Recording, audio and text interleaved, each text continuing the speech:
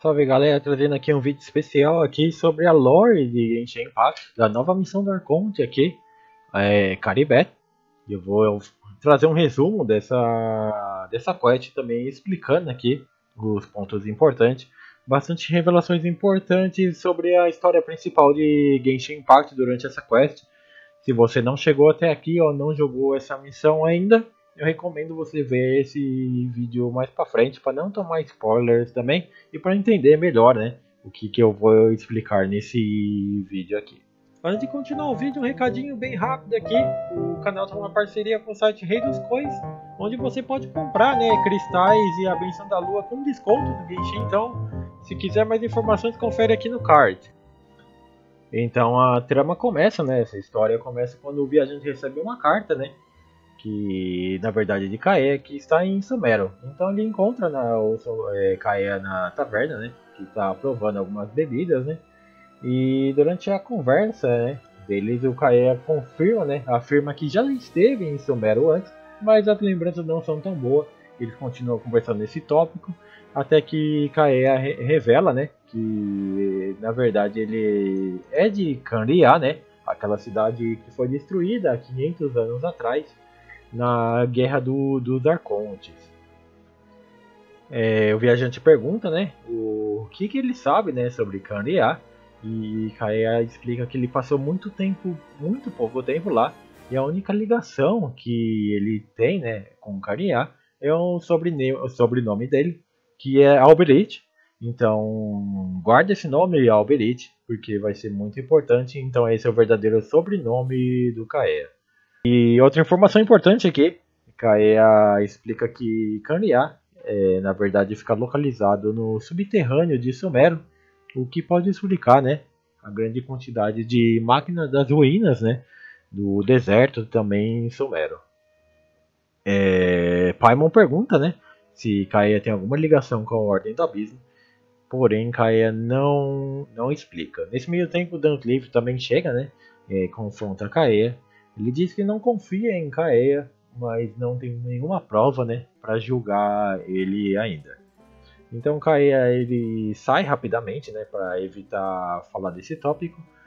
E o Dan Sleeve, né, convida o viajante para continuar a investigação, né, da operação Tier do Destino, né, que basicamente, né, é uma operação da Ordem do Abismo para criar, né, um deus mecânico gigante, né, usando a tecnologia né, dos guardas das ruínas no Ozial, no, se você lembra bem, esse era o boss, né, aquele boss aquático que a gente enfrentou em Liyue e a Ningguang teve que jogar a câmera de Jade né, para derrotar ele.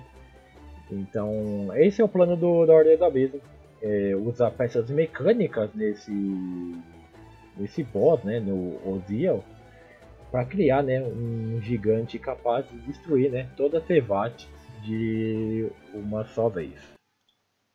Então vamos focar aqui nessa missão. Então eles vão lá, é, investigam o acampamento, não encontram nada demais. Até que chega a hora deles descansarem e o viajante adormece, né? Porém, quando o viajante acorda, né? Ele está sozinho, não tem mais a Paimon, não tem mais o Duntleave. E ele encontra um homem misterioso chamado Aide. Esse homem, é, pelas roupas né, né, dele, né?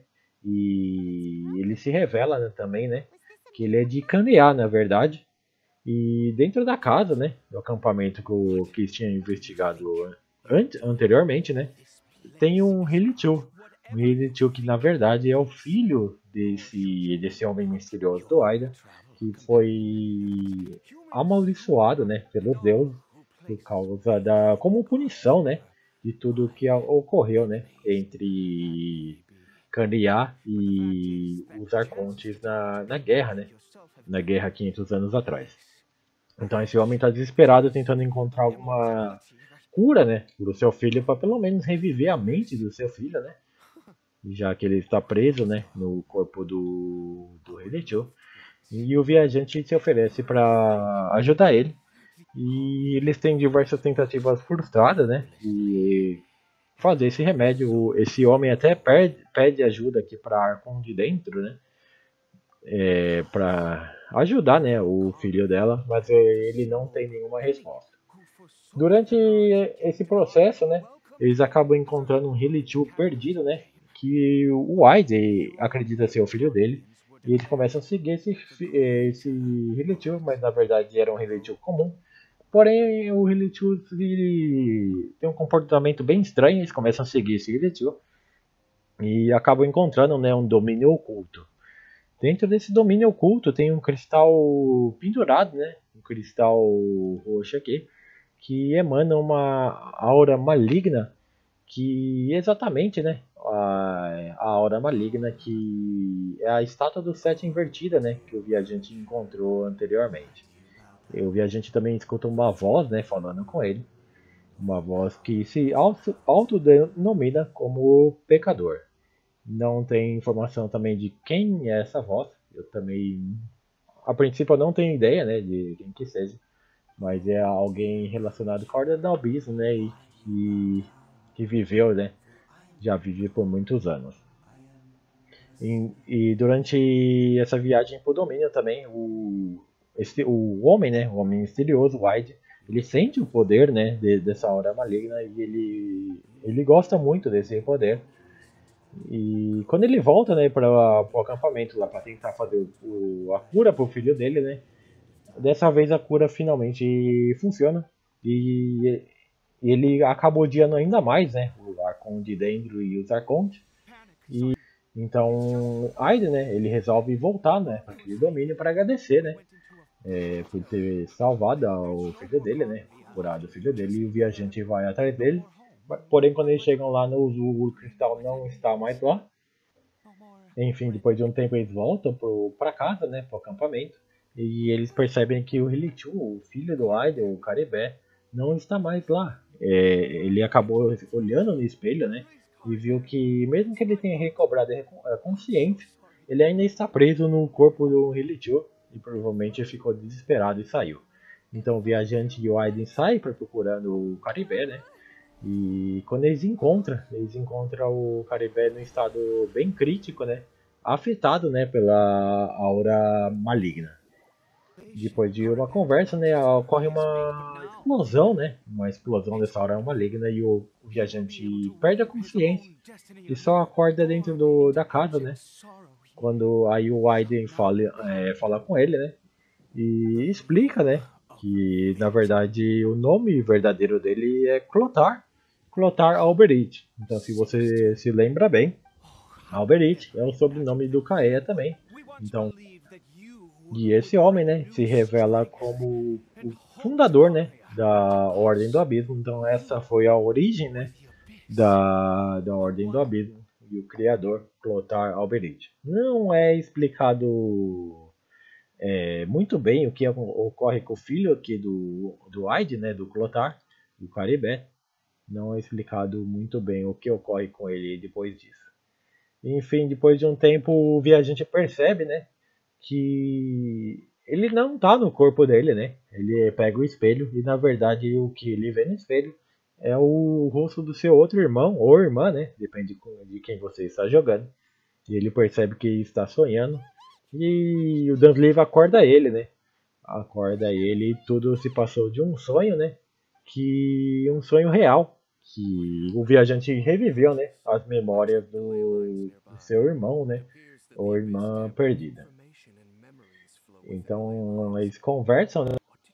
O viajante ocorre tudo, conta, né, tudo que aconteceu pro Duncliffe e eles chegam à conclusão que talvez tenha sido esse o ponto, né, que o outro irmão, né, ou irmã, decidiu se juntar à Ordem do Abismo por causa que ela viu, né, o que, que aconteceu com o filho do desse homem, né, o sofrimento desse homem e do filho dele. Então, pode ser esse ponto, né, nesse ponto da história, que o irmão, né, ou a irmã, decidiu se juntar na Ordem da Bíblia. No finalzinho aqui da, da história, eles encontram uma ossada aqui, é, dois corpos que foram enterrados, um de um homem e um de uma mulher. Dentro acredita né, que é o, o corpo do Clotar, Clotar Alberich. O Clotar Alberich que se, é, tinha sido amaldiçoado com, pelos deuses, né, pela com a imortalidade. Então, de alguma forma, ele se arrumou um jeito né, de se livrar dessa maldição e finalmente encontrou o seu é, descanso final. E no final da história aqui, é, o viajante fala né, que sentiu a falta da Paimon durante esse tempo e acaba abraçando a Paimon. E assim termina né, esse novo capítulo do Arconte. Diversas revelações importantes aqui sobre o Kae, o sobrenome dele, a localização né, de Kanea, né, e também mais detalhes aqui o que aconteceu no passado. Então, se você gosta desse tipo de, de vídeo, deixa o like, comenta aí se você quer ver mais esse tipo de vídeo sobre a lore de Genshin Impact. E até o próximo vídeo, valeu!